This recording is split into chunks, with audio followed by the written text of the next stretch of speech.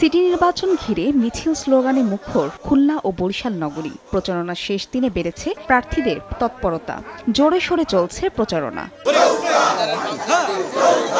শনিবার সকালে খুলনা নগরীর খালিশপুর এলাকা থেকে প্রচারণা শুরু করেন আওয়ামী লীগের মেয়র প্রার্থী তালুকদার আব্দুল খালে নগরীর চলমান সব উন্নয়ন কাজ শেষ করার জন্য নৌকায় ভোট চান তিনি। একই সময়ে হাজি মহসিন রোড এলাকায় লাঙ্গল মার্কায় ভোট চান জাতীয় পার্টির প্রার্থী শফিকুল ইসলাম মধু। আর রেল স্টেশন এলাকায় গণসংযোগ করেন ইসলামী আন্দোলন বাংলাদেশের প্রার্থী আব্দুল আওয়াল। বরিশালেও নবগ্রাম রোড এলাকায় প্রচারণা চালান নৌকার মেয়র প্রার্থী খোকন সেঙ্গিয়াবাদ। অন্যদিকে ভাটারখাল এলাকায় জাতীয় পার্টির মেয়র প্রার্থী ইকবাল হোসেন তাপস এবং হাটখোলা এলাকায় শ্রমিকদের মধ্যে প্রচারণা চালান ইসলামী আন্দোলন বাংলাদেশের মেয়র প্রার্থী মুফতি সৈয়দ মোহাম্মদ ফয়জুল করিম।